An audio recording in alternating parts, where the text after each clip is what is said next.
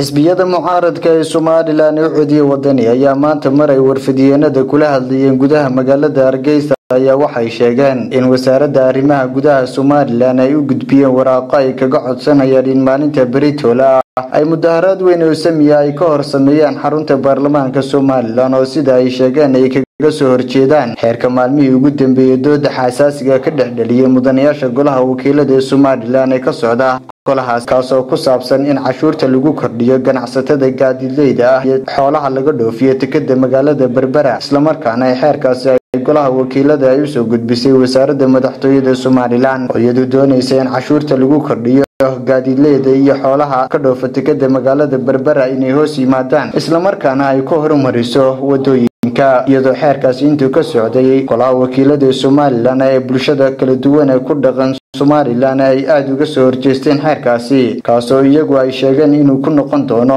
mid dhabarjab weyn ku noqda. Dhinaca kalena saraakiishan sarsare ee ka socota xisbiyada mucaaradka ee somalilan u cediya wadani ayaa wax laga xumaada ku tilmaamay. In markii ay wasiirka wasaaradda arrimaha gudaha somalilan cali maxamed waran cadde ay warqada codsiga ay kaga codsaneen maalinta beritoole ah ay mudaharaad weyn oo samiya ay ka hor sameeyaan xarunta baarlamaanka somalilan kaasoo ay kaga soo horjeedeen xeerkaasi uu wasiirku arrintaasi ka gilgishay islamarkaana aan wasiirku jawaabsiinin mas'uuliyiintan ayaa sidoo kale bulshada ku dhaqan magaalada hargeysa ka codsaday in maalinta beritoole ay iskugu soo baxaan mudaharaad weyn oo samiya kaasoo ay kaga soo horjeedaan. Xeerka horyaala mudanayaasha oo ay sheegeen inuu xeerkaasi uu caqabad iyo dhabarjab ku noqonayo bulshada reer somalilan. Mas'uuliyiintan arrimahaasi ka hadlaya ayaa waxay yidhaahdeen